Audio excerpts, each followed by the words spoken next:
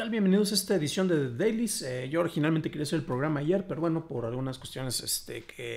Eh, por cuestiones de tiempo no lo pude hacer, pero lo estamos grabando precisamente para que ustedes lo puedan eh, tener este viernes y tengan su dosis semanal de The Dailies.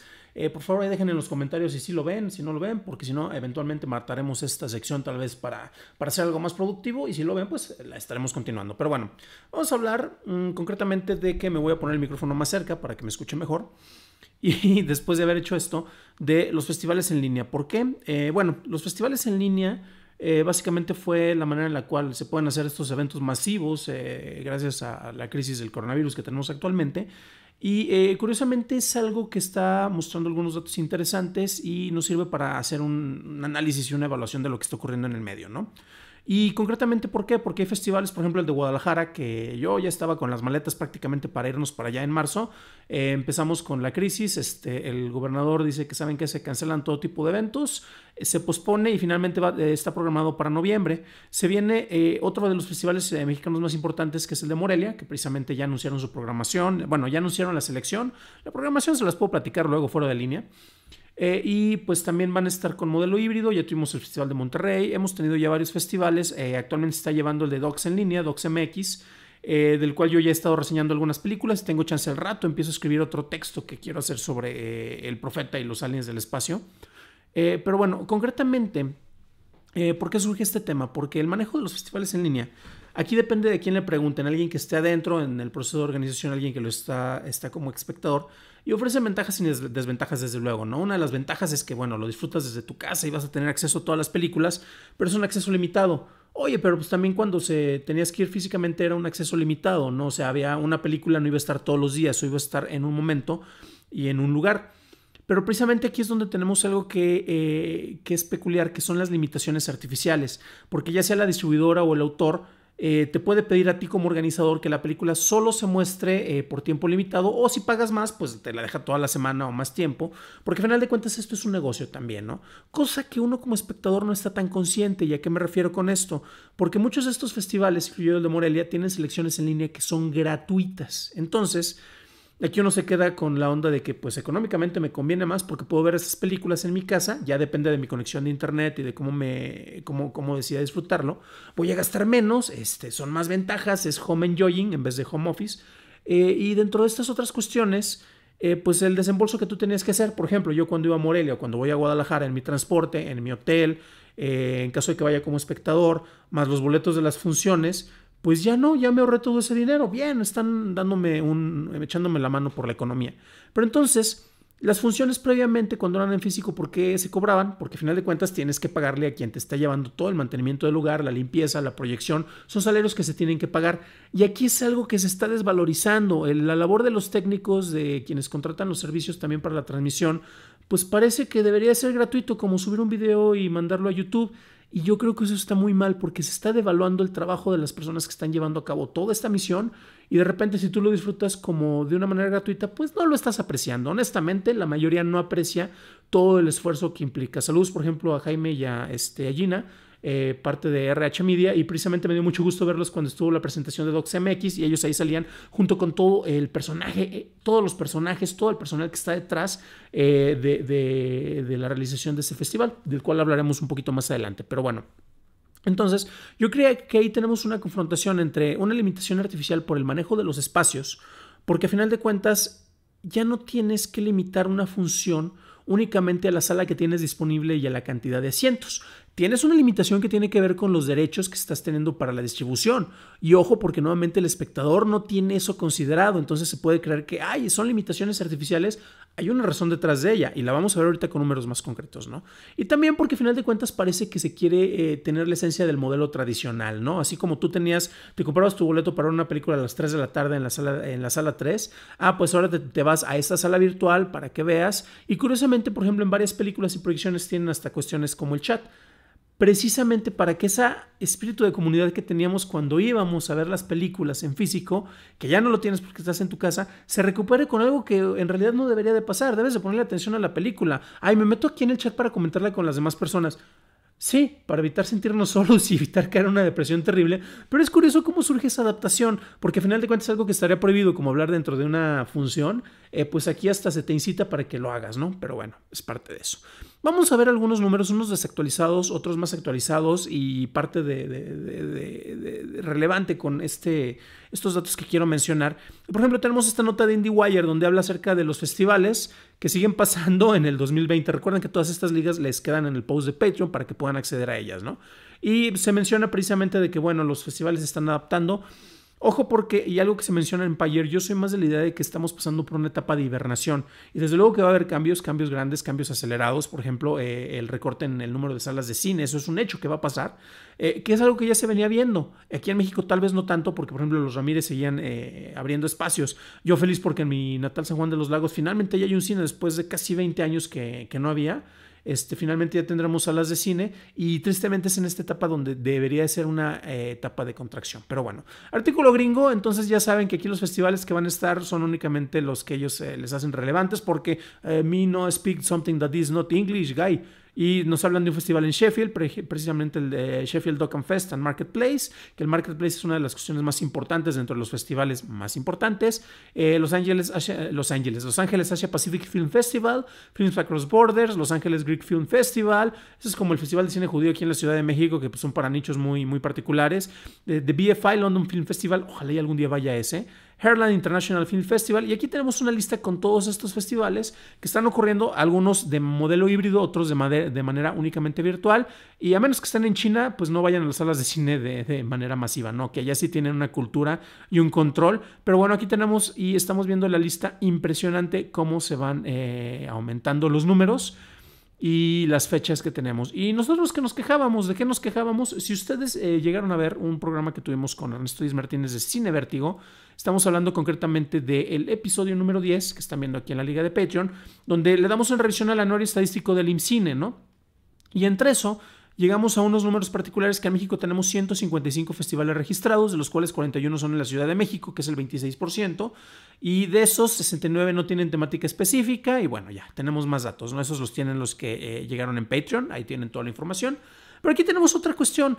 Eh, de repente, pues 41 en la Ciudad de México son casi un festival por cada semana la Ciudad de México, un chilangocentrismo terrible que no debería existir, y en todo el país son 155, entonces estamos hablando de tres festivales eh, prácticamente a la semana en todo el país. Híjole, eh, yo soy de los que dicen que eran demasiados, ahorita se viene una limpia por los manejos presupuestales, presupuestales, perdón, eh, lo cual tal vez no sea lo más en las opciones más óptimas, porque lo ideal es que hubiera más, más apoyo presupuesto para festivales, eh, para labores eh, culturales. Sin embargo, sabemos que también pues, hay muchos que honestamente pues, son mafias. ¿no? Ahorita se está hablando mucho del Fidecine y del Eficine y hay una desinformación terrible porque hay gente que se pone a quejarse de Derbez y Gareda cuando son películas que rara vez utilizaban este tipo de apoyos. Y por ejemplo, en el caso de la de Derbez que citaban, sí, se le dio dinero y regresó el dinero para que se, con este dinero se pagaran otras producciones de gente que no genera taquilla. Porque en México lo último que se ve es el cine mexicano porque somos bien pinches malinchistas y creemos que solo el cine internacional o el cine gringo es el que vale la pena. ¿no? La, realidad es que ni siquiera nos preocupamos por ver eh, películas de aquí. Somos muy pocos los que nos interesa ver la producción nacional. Pero bueno, tenemos una liga que quiero incluir. Eh, tristemente no está actualizada, estamos hablando de datos del 19 de octubre del 2013 de Stephen Follows y tristemente no ha tenido actualizaciones hasta donde veo. Sin embargo, en base a muchas encuestas que hizo, tenemos información bien fascinante, ¿no? La cantidad de festivales de cine y nos está diciendo que en eventos recientes son 1735 festivales, ¿no? En los últimos 12 meses. Eh, esta infográfica quiero creer que se está actualizando eh, de manera regular porque nos está mencionando que técnicamente había 2.954 festivales en activo ¿no? a nivel mundial. A ver, si nos vamos a hace ocho años, ay Dios, Dios santo, Hace 8 años eran 9.706 festivales a nivel mundial. Hace 5 años, 6.121. Y en los últimos 12 meses, 1.735. Entonces, probablemente si tenga una actualización, quiero creer, si no, son los números del 2013. Pero estamos notando una reducción impresionante sobre la cantidad de festivales. En los últimos 4 años fueron 51.000. En los últimos 4 años fueron 51.000. Esos números impresionantes, pero bueno, aquí ya hablamos de los festivales por continente. Recuerden que América del Norte no incluyen a México.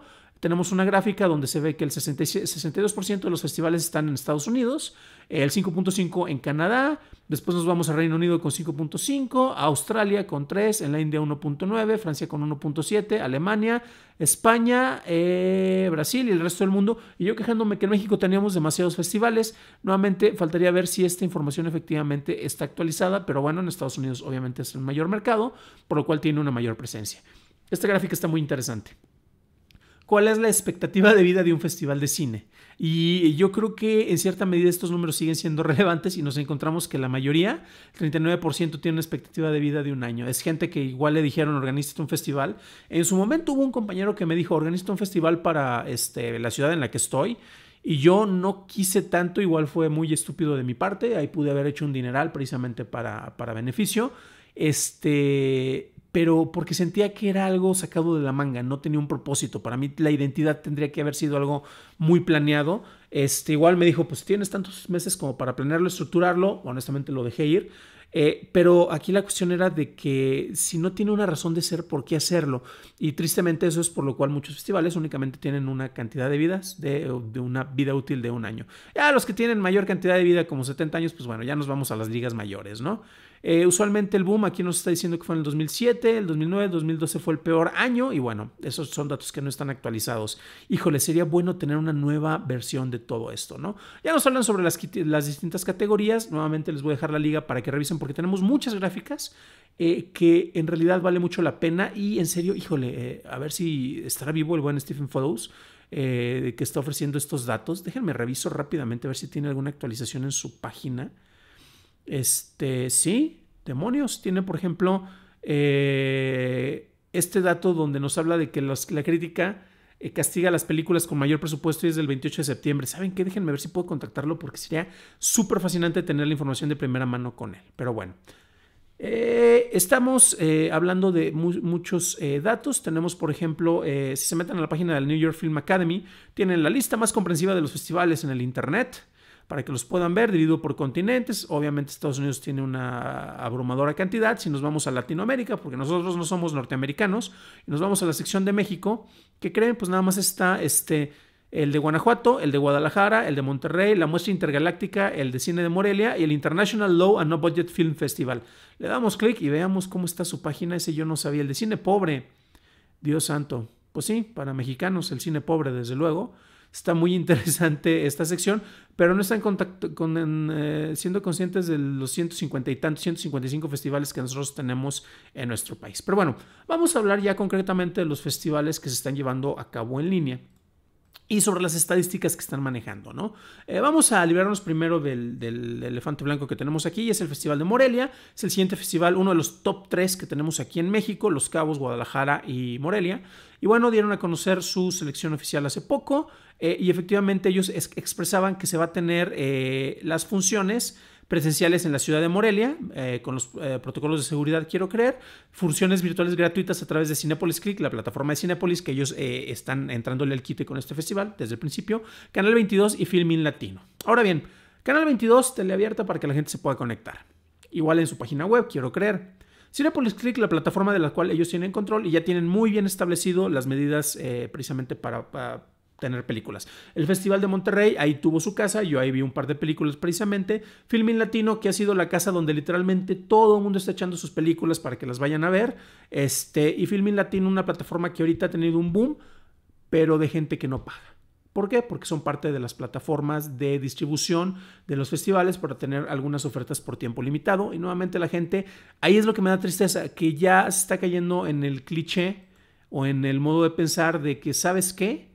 Eh, pues yo, ¿por qué debería de pagar por una película si me las dieron gratis durante tanto tiempo y en plataforma las puedo ver? La gente tampoco le cae muy en cuenta el hecho de que está pagando por plataformas como Netflix, por ejemplo, y que estas plataformas tienen una infraestructura eh, mucho más sólida, van a presentar menos fallas por eso. Este, y pues la están pagando, entonces no es como si, tuvieras un acceso a un catálogo ilimitado dentro de eh, estos lugares, ¿no? Pero bueno, vámonos a Docs en línea.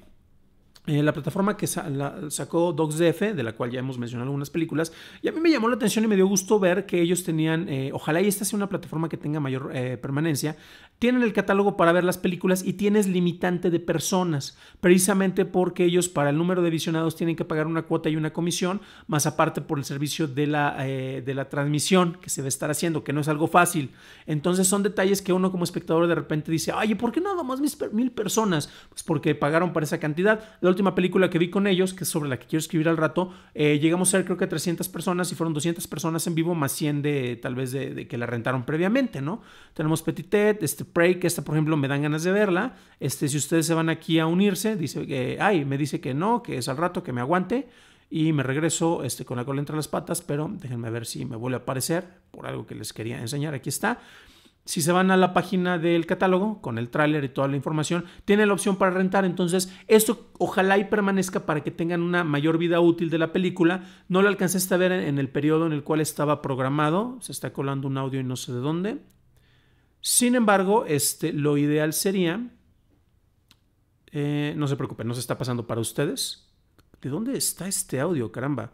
Es un tráiler que se está reproduciendo que no tengo idea de dónde está, pero bueno este, la película la van a poder rentar si no la pudieron ver eh, precisamente durante la transmisión gratuita. Entonces, eso es algo interesante y ojalá pudiera continuar para que personas que no estuvieron en la semana que duró el festival, por poner una fecha, pudieran acceder a ella, porque es una de las grandes preguntas: ¿dónde la veo? Qué bueno que me platicas de tus películas de festival, pero pues no sabemos dónde, dónde, podría verse, ¿no? Entonces, es uno de los detalles. Ahora bien, esos números que se manejan ustedes, si van a ver eh, la película, nuevamente tienes el cupo para mil personas en esta que estamos viendo eh, a continuación son números que no sé qué tan conveniente sea que se muestren, ¿no? Eh, se agradece muchísimo la transparencia, pero también hay un detalle. Así como las eh, sensacionales datos estadísticos que maneja Netflix, eh, la manera en la cual tú cuentas el visionado es una persona que vio toda la película o una persona que se metió y estuvo ahí durante dos segundos. Usualmente es la segunda forma. Entonces, a ti como festival, ¿de qué te sirve decir que tuviste más de 100 millones de visualizaciones de todas tus películas? Supongamos que fueron 100 películas y fueron mil visualizaciones en base a los números que tuvimos ahorita,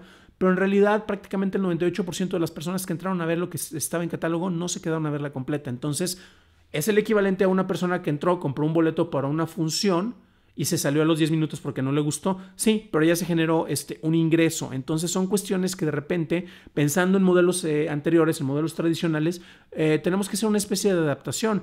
Y eso tiene que ver directamente, por ejemplo, aquí tenemos los datos de Netflix y sus estadísticas están más actualizadas para el 2020 en base a junio. Ya tenemos datos del COVID. Y tenemos aquí, por ejemplo, muchos datos eh, interesantes acerca de las cantidades de suscriptores por cada cuarto, eh, los usuarios eh, domésticos, los usuarios de Estados Unidos, la cantidad de ganancia establecida, el market cap, este, la, deuda, la deuda que tienen. Eh, y todos estos números que vale mucho la pena mencionarse como expansión internacional. Y lo menciono también porque y muchos piensan que, ay, si lo veo como en Netflix, lo veo en YouTube, lo puedo, puedo, ver en un festival. Ya se mencionaron aquí varias de las razones por las que no, porque son manejos de infraestructura distintos. No es lo mismo algo que tú estás generando durante una semana para lo que estuviste trabajando varios meses para que se pueda exhibir una película.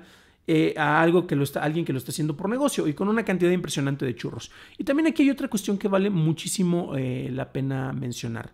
Eh, a final de cuentas, los festivales que se están haciendo eh, ahorita en línea no están recibiendo tal vez tantas ganancias, la mochada que le daban, por ejemplo, por parte de, quien te renta la sala de cine, ¿no? Este, o distintas opciones, muchos de ellos eh, lo hacen literalmente por amor al arte y buscando distintos financiamientos de distintas instituciones para que les entren al kit y les cooperen. Y uno como usuario, pues de repente ya te lo están dando gratis y es el mayor problema que yo tengo, que como te lo están dando gratis no te cuesta y no lo estás eh, apreciando. Sí, yo me quejo de que tenemos prácticamente todas las semanas de dos a tres festivales de cine en línea en plataformas como Filmin Latino, que ya mencionamos previamente, pero tú estás compitiendo con plataformas de, manejo más comercial como el mismo Netflix, que estamos mencionando y es el que tiene mayor eh, penetración de mercado. ¿Y qué es lo que ocurre? Eh, pues no se está valorando el contenido. Ese es eh, prácticamente sobre lo que insisto mucho y lo que me da mucha tristeza, porque sobre todo las personas que trabajamos del otro lado, que estamos buscando la creación de contenidos, estamos buscando la creación de material eh, en cine, en televisión, precisamente para que se pueda consumir y obtener una ganancia para poder vivir de ello, pues el público en general dice, pues tengo mucho contenido gratuito, mejor me entretengo aquí con mi celular este, viendo videitos de TikTok o viendo algo de YouTube y a final de cuentas, este, ah, qué bueno que me ofrecen otras opciones culturales, pero qué flojera me da el sector cultural. Entonces, es un escenario triste y curiosamente sobre este mismo, eh, la presencia de los festivales en línea tienen una razón de ser. Nos podrá gustar, nos podrá no gustar, pero es para recordarle a la gente que siguen ahí. ¿Qué hubiera pasado si todos los festivales que tenían presencia en física no tuvieran emisión en línea? Eh, pues la gente se le olvida. Tenemos el Festival de Guadalajara que viene pronto, que tuvo un retraso, pero la selección de películas va a ser la misma y muchas de esas películas ya se pudieron ver en otros festivales sin necesidad de ir para allá. Entonces, perdió relevancia, sí, eh, el film market obviamente sigue siendo súper importante, es la parte más eh, primordial que, que, tenemos en este caso para la expansión de negocios y acuerdos de coproducción. Sin embargo, para muchos es de que, ay, pues si ya no está y no está disponible, ya no tiene presencia, y si de repente no estuvo eh, haciendo ruido, como el Festival de Morelia actualmente, me olvido de él y el usuario se puede dar cuenta de que como ya tiene una mayor oferta de contenido, pues tristemente ya no es necesario que le preste atención a estas otras cuestiones, ¿no? A estas otras plataformas y a estos otros festivales. Pero bueno, después de este panorama tan oscuro, me interesa saber las opiniones de ustedes si han trabajado en un festival o en algo. Este, mándenmelas en privado porque probablemente no puedan eh, revelar información. Pero me interesaría mucho ver precisamente su opinión sobre los distintos manejos. Los festivales en línea en realidad tienen relevancia, eh, sobre todo porque tenemos una oferta en casa impresionante e inagotable. O sea, tenemos un, es abrumador ahorita lo que tenemos de contenido para consumir. Eh, o hubieran preferido que se siguieran llevado ahorita a cabo con medidas de seguridad. Por ejemplo, yo Morelia ya tengo años que no voy, pero a Guadalajara pienso ir y ahorita le estoy dudando. Sin embargo, la experiencia de estar ahí en físico es radicalmente distinta a lo que uno podría tener del otro lado eh, en línea, ¿no? Sí, claro, más barato, más cómodo, lo puedes considerar de ahí. Y también jugamos con el manejo de eh, las limitaciones artificiales, ¿no? Por ejemplo, limitación de boletos. Eh, tal vez yo como eh, chilango invasor, si voy a Morelia y le gano a alguien de ahí que quería ver una película eh, su boleto en línea, sería injusto porque ahí sí le estoy, este, yo por muchas ganas que quiera ver la película, pero es para un sector y para un mercado pues un poquito más local, para que tenga difusión, para el amante del, del cine que tiene la facilidad de ir, son otros aspectos que tal vez no siempre tomamos en cuenta, ¿no? Pero bueno, con esto terminamos esta emisión de Dailies, que ya nos extendimos demasiado, son 21 minutos, se supone que esto iba a ser únicamente de 10 minutos. Y bueno, dejen los comentarios este, qué opinan de esto, han visto películas eh, de festivales en cine, sí o no, por qué. Con gusto lo estaremos leyendo y nos vemos en otra transmisión. El próximo martes tenemos charla con, eh, charla con Daniel Krause para hablar de su libro Tenebra y después de eso no sé qué vamos a tener. Cine Vértigo creo que también vamos a tener la siguiente semana el miércoles. Eh, precisamente, ay, los estaré programando en la página de Twitch con el calendario que siempre actualizo la información. Y ahora sí, vámonos.